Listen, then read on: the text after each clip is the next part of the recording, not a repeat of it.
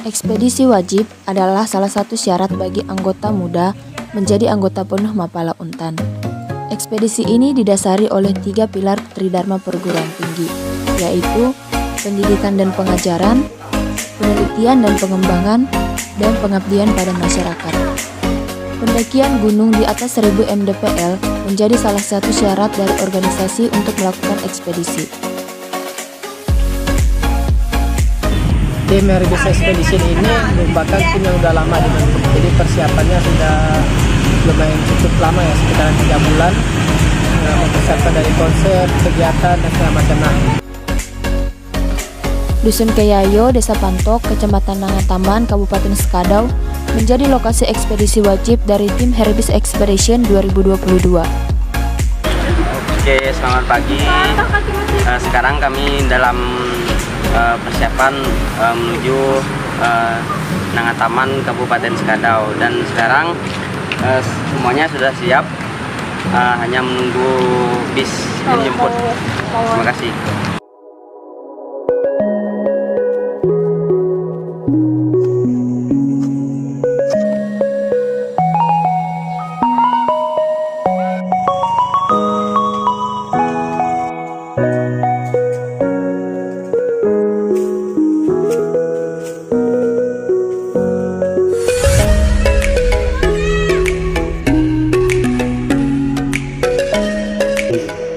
Manfaatnya tuh banyak.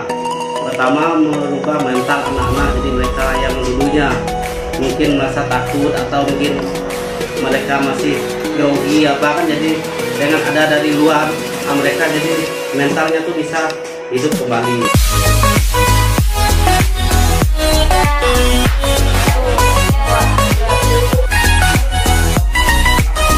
Untuk ke depannya mungkin saran atau pesannya kegiatan seperti ini perlu di, dilanjutkan karena nilainya positif.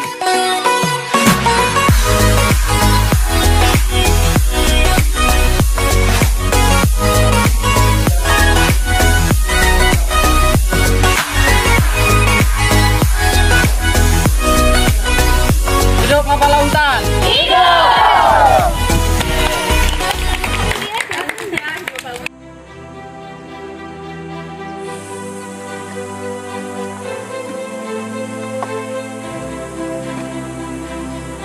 Jadi kami mau wawancara mengenai tumbuhan obat yang ada di Dusun Keyayo, Desa Pantok, Kecamatan Nangataman, Kabupaten Sekadau.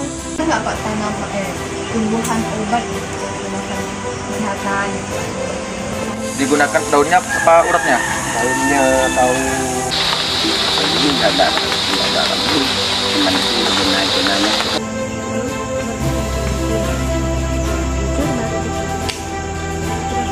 Rumah Badra dan ini obat-obatan yang sudah kami dapatkan.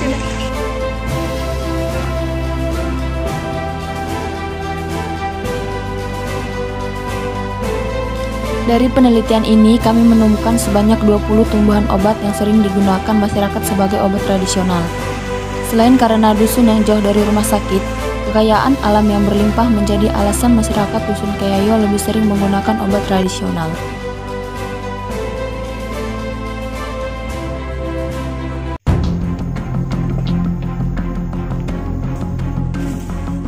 Puncak Gunung Nani yang berada di perbatasan Sekadau dan Ketapang adalah tujuan utama dari tim Herbis Expedition dalam pendakian ini. Dengan bermodalkan peta, kompas GPS dan protaktor, kami berjalan dengan penuh semangat menyusuri hutan lindung Gunung Nani.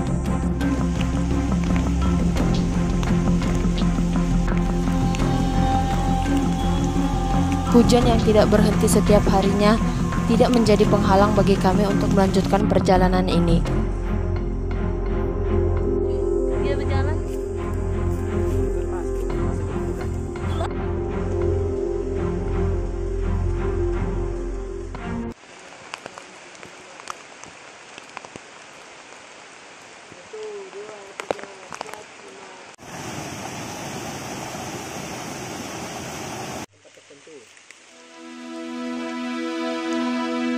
Rabu 3 Agustus 2022, kami berhasil menginjakan kaki kami di puncak Gunung Naning dengan ketinggian 1257 mdpl.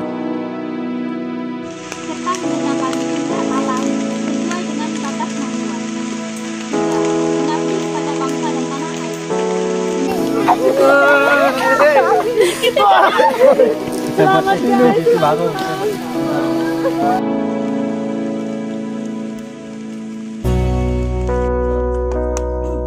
Salam Lestari. lestari.